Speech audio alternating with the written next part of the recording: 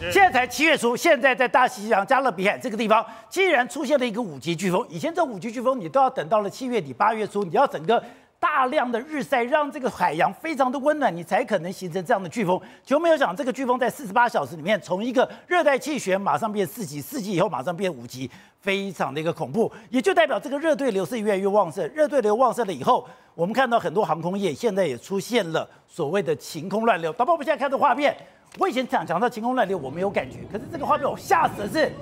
竟然晴空乱流之后有一个人，当然看到一只脚，为什么那只脚？他居然这哎，这个人比我壮，这个人比我高，这个人比我胖，他在这个晴空乱流飞机在颠簸的时候。他居然冲上上面的行李箱了。对，没错，你不要以为这个是天方夜谭啊。为什么呢？西班牙的欧洲航空公司啊，那么他要从这个等于说马德里飞往乌拉圭的过程当中，去遇到那么晴空乱流啊。那么晴空乱流最可怕的地方在哪里？他没有办法预测。一般我们的那个气象雷达呀，前面有那个大云呐，因为晚上你飞行的时候可能看不见云嘛，白天可以躲过。那晚上怎么办？我们有气象雷达，所以里面如果有水汽、有云的话，你就要飞高或者是避开嘛。但问题是晴空乱流完全没有办法事先这个等要预测，没有没有办法，因为它是气流，所以呢，等到你飞到的时候。你连那个警告、那个安全带系紧都来不及的时候，砰了，你就开始了。那么整个飞机就突然间啪往下这样的急坠啊。那么在短短几秒钟之内坠了几百公尺啊。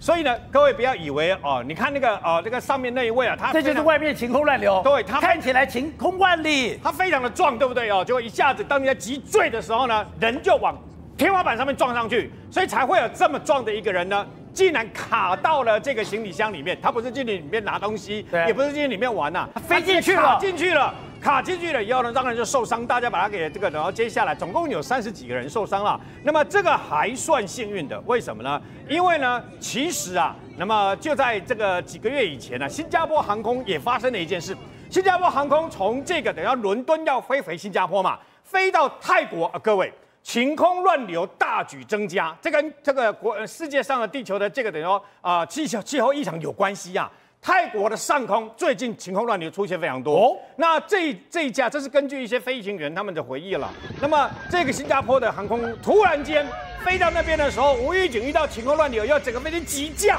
那么他们形容说，有人说是三分钟降了一千六百公尺啊。那也也有一位坐在当时坐在飞机上面的年轻人呐，他说。三分钟，我感觉好像十秒钟就整个人轰的这样掉下去，像坐那个大怒神一样，整个全部都掉下去了。全部掉下去了以后呢，这次的事件，因为有一位乘客他有心脏病，所以呢他当场被吓到，精神那个那个心脏病发，结果他是死在这次的这个等于晴空乱流里面。七个重伤，然后呢，好几十个人，这个等于说受伤。后来飞机还赶快紧急迫降，就对了。所以你就知道，你不要以为晴空乱流，晴空乱流到底太夸张了吧？飞上去了。新加坡航空为了这个事情改变了相关的这个等于说啊临时反应啊，所以我们不是搭飞机的时候常常会有嘣嘣，然后叫你那个怎么把那个安全带安全带系上吗？各位没有要去上厕所的话呢？最好坐，只要人坐椅子上，一定要把这个安全带系上。为什么呢？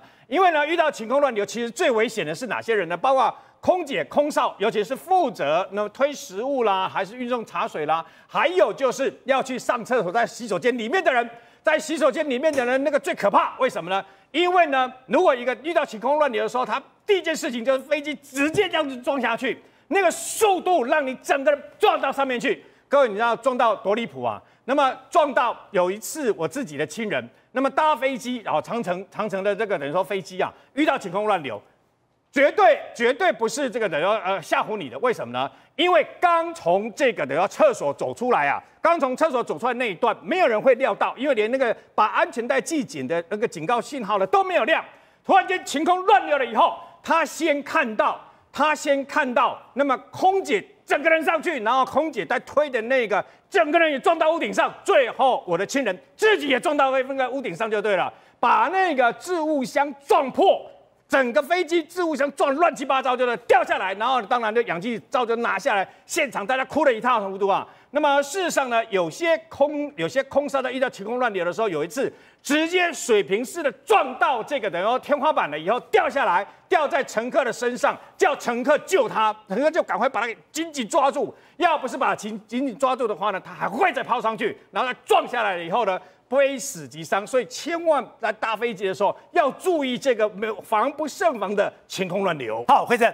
第二个讲的，现在这种灾难几乎是每个地方、每个的这个州都出现这个状况，印度都没有想到，它也是一样大雨，也是一样洪水这个湍流，湍流到了，哎，一家七口抱成一团。是，这画面看着真让让人家非常心酸哦。他们是一家七口去孟买八十公里处的一个山区去度假，就没有想到在下午一点多的时候，竟然突然之间哦来暴涨的河水，他们就竟然就困在这个河水中央，你知道吗？你看他们一家七口全部抱在一起，就水实在太湍急了，慢慢的、慢慢的，比较小的小孩子承受不住了，结果小孩子就往下流了。他们脱困了吗？他们七个人里面，呃，目前为止只有两个人是自己有游泳游上岸，其他的三个呃已经找到了遗体，然后另外两个下落不明。所以其实这其实就是讲被冲走了。对，被冲走了。然后你看，其实他们就是爸爸妈妈、小朋友，这整个正看的画面哦，这眼睁睁在大家的眼睛里面，他们一家七口就这样子，其实真的让人家觉得很难过。然后他们讲说，事实上一开始根本没有发现到这个河水会突然暴涨啊，这也有可能是因为呃，因为是雨季的关系，突然之间的状况。所以呢，他们想到说，哎，这个气候异常或者是瞬间的这样子的呃山洪爆发的状况，其实哦，在各个国家，而且呢，这个越来越频繁哦。那包括印度在六月二十八号的在印中印边界的时候，也发生了一件什么事情呢？就是本来是在进行所谓军事的一个训练哦，没有想到一个坦克车哦车哦在经过一个河流的时候，突然哦就沉没了。那你现在看到就是他们首都新德里的一个机场哦，就没有想到也是因为滂沱大雨的关系，突然之间屋顶就塌了，塌了之后呢，竟然就压坏了这个停在里面的一些车子哦，就造成一人死亡，八人受伤哦。然后呢，现在就这样说这个雨哦，强降雨实在是呃迅呃瞬间太强了，它这个整个坍塌下来之后，就压了那个很多车子停在下面。机场。对，这机场。然后因为就是刚刚讲到它的强降雨的关系哦，所以坍塌，然后下面很多车子都被压在下面，就不幸的有一个人上升哦。那同样的呃这样子不幸的情况也发生在哪里呢？也在湖南哦。湖南一样也是因为在岳阳的这个部分，你看这其实很可怕，发生了土石流，远远远远的有没有？最后那个房子直接就被冲毁了。那许多的一个，因为就是土石流，呃，也是从那个山上这个部分，然后滚滚啊，土石啊，整个冲击下来，结果白色的房子就这样整个被覆盖掉了。然后呢，因为湖南岳阳这个暴雨，这本来是人家的车库一楼的车库，结果整个都变成游泳池，车子看起来应该也都泡水。哇塞，那个不止这不。车库，这车库，停车场，对，停车场，这这不讲话，还真的会以为是游泳池哦。那有的车子来来来不及跑了，可能就已经泡在水里面了。还有包括什么，整个这其实很可怕，因为也是因为瞬间强降雨，有没有看到那个地基都被掏了，被掏空了。所以你看，整个这种肝肠寸断的地基被掏空，所以这里就是啊，这个瞬间的雨势实在是太大了。还有包括哪里呢？一样也是大楼的住户，哎，那看了其实很可怕，他们竟然楼下哎都淹在水里面了。甚至有人说：“哎，我们这个家里，我们是五层楼啊，我们楼下已经有三层楼都不见了，赶快来救啊！”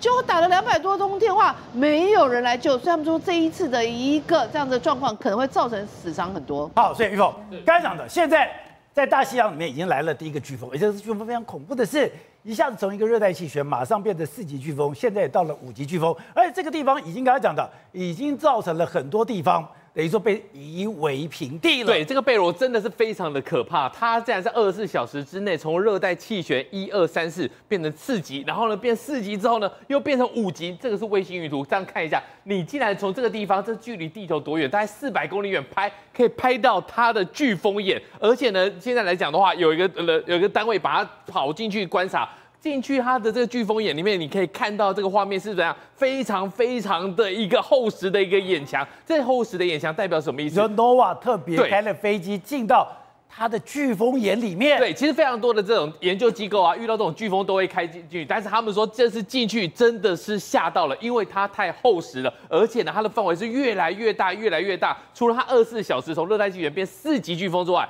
它现在已经变成五级了。所以呢，它现在撸来撸短架，整个扫过去之后呢，你在加勒比海上面沿途的每一个都非常的害怕，所以我们看到尤其是现在圣文森在格瑞纳达对。全部被夷为平地现。在来讲，圣文森、格瑞纳丁来讲的话，他们这边来之后，他们说大概百分之九十的房子全部没了，90%都没了百分之九十的房子都没有。一过去之后，你看屋顶已经直接被掀开了，然后呢，他们那边有很多的那那个那种房子，其实都不是结构太完太强的一个结构，所以呢，扫过去之后呢，全部都不见了。那么现在来说的话，有没有传输伤亡？还没有。可是呢，他们的总理是说呢，那是因为通讯断了。当你通讯有好的时候呢，我们很难确保，因为他们在在在格兰纳丁来讲的话，很少没没有办法经历挡得住这一种大型的这种灾难型的飓风，所以当它扫完之后呢，等到通讯恢复了，恐怕会非常非常的惨，因为它除了下雨，除了狂风之外，它会把这些海水倒灌全部带进来，因为它的这个气旋太强了，带进来之后呢，是没有人可以撑得住的，所以他们说他们现在这些岛屿，凡是每一个经过的。都是穿雷弹。波多黎各也在这个路径上面，可能你扫过去之后呢，你会造成很大很大的一个灾难。那么你现在来看这个画面哦，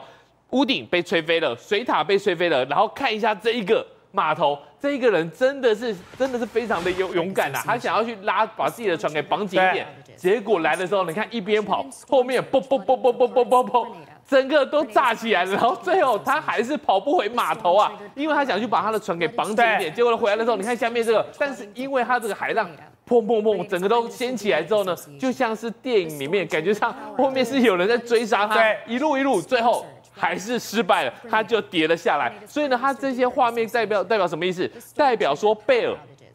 横扫加勒比海，接下来要直冲墨西哥。每一个经过的恐怕都是灾难性的一个一个场景，而且他这种画面多可怕，就是刚刚讲它是风强雨急、风强雨骤的状况下，他慢慢看到的全部一片雾、一片水雾，你什么都看不见。对，现在来讲的话，因为它的带来的，除了它的眼墙非常厚实之外，它旁边的距离是非常大，里面有非常多雷雨包，所以你扫过去之后啊，旁边的这个雷雨包下去之后呢，你恐怕是有好几个小时都是密集的一个下雨，而这几几个小时密集下雨，如果你的基础结构不好的话，或是你基础基础建设没有好没有完善的话，恐怕都会造成很大很大的一个灾难。那么现在六月、七月就造就有有这种第一个飓风形成，而且二十四小时之内把它的强度一再一再的加强，代表说海水太热了，海水沸腾了，海水给它这些能量，那么以后恐怕这会变成常态。好，宇轩，刚才讲台北虽然我们没有这个飓风，没有这样的一个台风，可是光是一个热对流就已经有灾情了。宝来哥没有说，我们现在讲整个全台湾各地，因为所谓虽然没有台风来，但极端气候对流的状况下，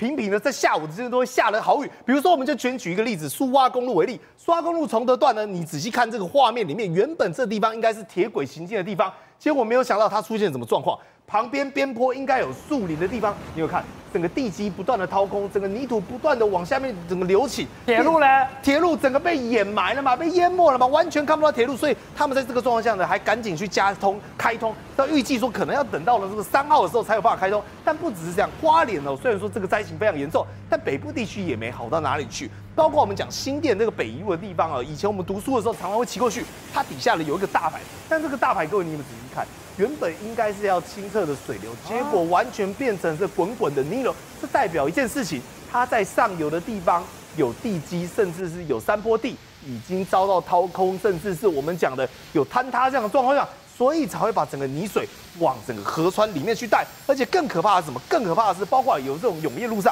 有骑士骑着骑着，就没有想到，因为水流实在太过湍急，没有摩擦力。整台机车就这样应声倒下，而你就知道，整个在全台湾各地都因为这种热对流出现了频繁的灾情。